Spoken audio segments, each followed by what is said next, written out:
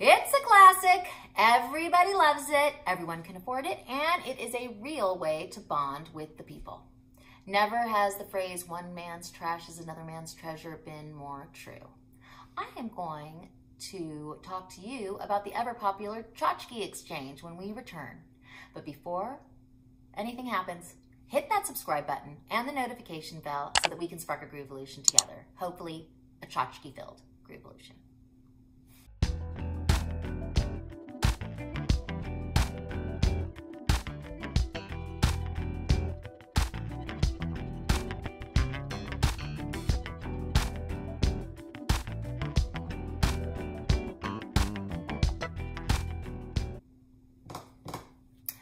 By definition is a trinket, a bauble, or a knickknack.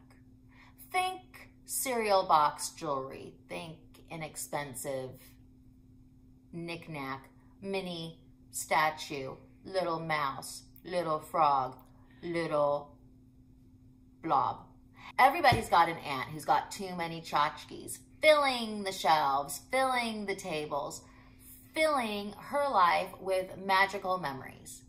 But sometimes the tchotchkes just get to be a little bit too much.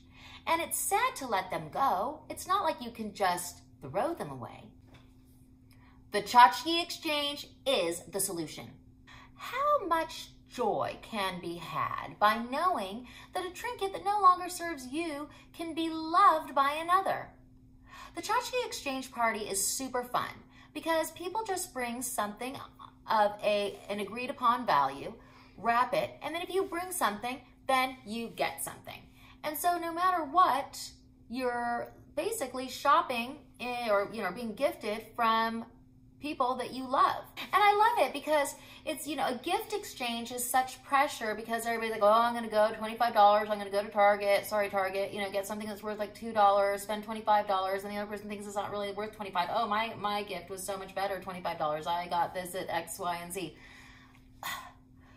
The tchotchke exchange fixes all of those issues. Literally, you just go, hmm, here's a tchotchke. Well, I would never give away one of my precious crystals, but maybe, um, let's see.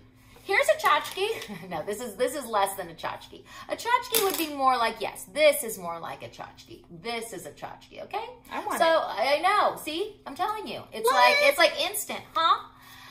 So that's what that's all about. And uh, that's it. So I don't know about you. A lot of people throw tchotchke exchanges in December, but I say, let's do it in February because it is miserable outside and we need a little joy in our lives.